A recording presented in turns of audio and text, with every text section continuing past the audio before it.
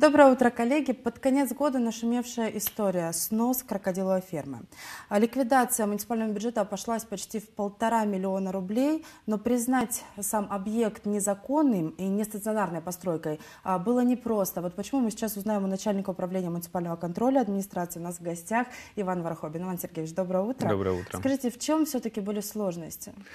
Ну, еще летом 2019 года предпринимателям незаконно на муниципальном земельном участке, который ранее находился в пользовании санатория «Приморский», э, это набережная имени Горького в городе Евпатория, незаконно размещены нестационарные объекты, так называемый дом вверх дном и крокодиляриум.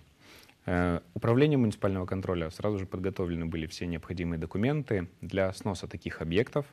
Э, проведена комиссия по демонтажу незаконно размещенных нестационарных объектов, вынесено постановление администрации о принудительном сносе, о чем непосредственно было уведомлено лицо, разместившее такие объекты. Вместе с тем предприниматель наши законные требования не услышал, э, в связи с чем у администрации были определенные трудности по выбору подрядной организации, но тем не менее, которая должна производить снос таких объектов. Тем не менее, конкурсные процедуры состоялись, и в настоящее время Управлением муниципального контроля с привлечением такой подрядной организации ведутся работы по принудительному сносу такого объекта. Уже три дня работы эти проводятся ввиду того, что данный объект действительно он весьма значительный по его габаритам. Я думаю, что сегодня, максимум завтра, данная территория будет расчищена полностью. Вот вы говорите, предприниматель не услышал требования, но все же из муниципального бюджета потрачены деньги. Как они будут возвращаться и почему предприниматели сами не ликвидируют такие?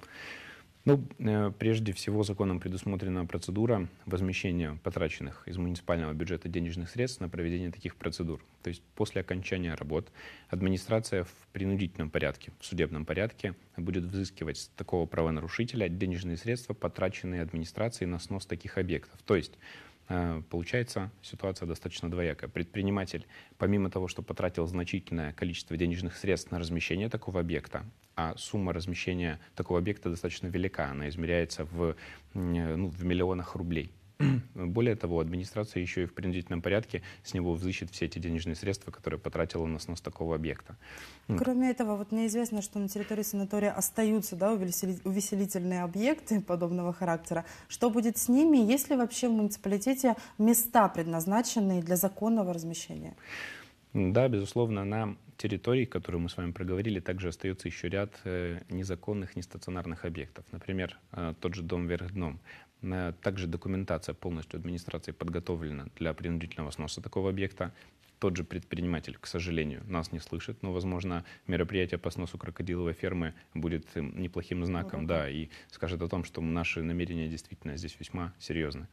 Э, буквально в начале следующего года уже денежные средства, необходимые, заложены в бюджет 2020 года, э, будут э, отыграны конкурсные процедуры, и буквально январь-февраль также администрация проведет принудительный демонтаж и э, второго незаконного нестационарного объекта «Дом вверх дном». Помимо указанного, есть еще ряд аттракционов на указанной территории. Они также в принудительном порядке будут вывезены, и все денежные средства будут взысканы с правонарушителя. То есть планы на следующий год уже есть, да? А какие-то итоги в этом году мы можем подвести? Я знаю, что идет масштабная, шла масштабная ликвидация гаражей, и не один год. А какая, какие цифры, какой статистики мы можем говорить, и будет ли продолжаться эта работа? Да, безусловно, такая работа носит системный характер и будет продолжаться вплоть до тех пор, пока вся территория города не будет расчищена от незаконно размещенных нестационарных объектов.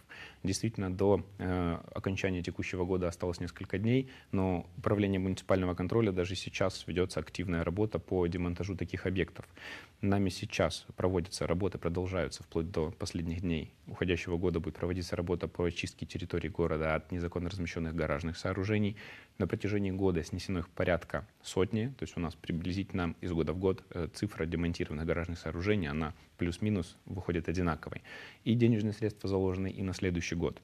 Я думаю, в следующий год, максимум два, мы полностью расчистим территорию города от таких э, гаражных сооружений, которые стоят на муниципальной земле уже десятками лет. Незаконно а, они стоят. А уже понятно, что будет на освобожденных территориях? Или это просто пустующие будут? Э, дело в том, что администрации города э, все эти территории, которые освобождаются, они в дальнейшем планируются под размещение каких-либо объектов. То есть это могут быть детские площадки, какие-то спортивные площадки. Это территории для размещения автотранспортных средств, то есть парковочные места для жителей домов, которые непосредственно и проживают на данных территориях. То есть в последующем данные, данные земельные участки участки будут благоустраиваться администрацией и приводиться в порядок для жителей близлежащих домов. А как сами жители вот относятся к подобной масштабной зачистке? У нас прям это все так активно идет последние годы. Э, большинство жителей, конечно же, занимают нашу позицию. Все понимают, что данная территория, что данное мероприятие проводится не просто так, что действительно нестационарные объекты размещаются незаконно, ввиду чего и происходит их принудительный демонтаж. И, конечно же, поддерживают положение относительно того, что, чтобы данная территория благоустраивалась и развивалась исключительно для них же, для людей, для жителей этого города. Будет ли в следующем году увеличиваться штат вашего управления или все-таки хватает людей? Людей, безусловно, не хватает для проводимых нами работ. Конечно же, хотелось бы увеличить штаты, и вроде как действительно руководство города и администрации нас услышало, и в следующем году, возможно, мы надеемся, держим кулачки, наш штат будет немного расширен, что позволит нам э, постоянным контролем охватывать территорию города по всем направлениям, веренным нам, и, соответственно, также более часто проводить контрольные мероприятия на таких территориях, как ПГТ Заозерный, Новоозерный и Мирный, куда мы ну, в связи с, маль... с небольшим штатной численностью небольшой штатной численностью, ну, бываем реже, чем непосредственно на территории самого города Евпатория. Для этого нужен еще курортный патруль, да, больше? Безусловно, будем бороться за э, данную тематику. Курортный патруль очень качественно показал себя на протяжении минувшего летнего курортного сезона, и э, глава администрации уже непосредственно работает над тем, чтобы данный проект, он не был просто, ну, как он был, он был запущен как пилотный, и мы очень сильно работаем над тем, чтобы он на постоянной основе прижился непосредственно в нашем городе. А, Иван Сергеевич, мы желаем вам удачи, поздравляем Спасибо. с наступающими праздниками. Всегда рада вас видеть в нашей студии. Спасибо. А, коллеги, а, планы грандиозные, осталось только их реализовать. Как у вас настроение и что на повестке дня? Спасибо большое, Настя. У нас максимально новогоднее настроение. Мы вот с Димой проснулись для того, чтобы создать вам такое же